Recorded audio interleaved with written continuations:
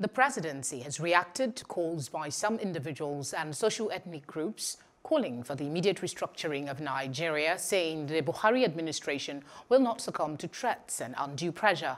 Senior Special Assistant to the President on Media and Publicity, Garba Shehu, stated this in a statement on Monday morning when he responded to the renewed agitation in some quarters for the restructuring of the country.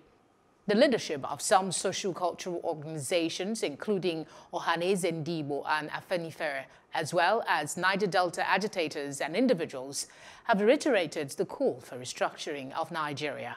The presidential aide, however, dismissed the reoccurring threats as unpatriotic outbursts, saying the Buhari administration would not take any decision against the interest of 200 million Nigerians.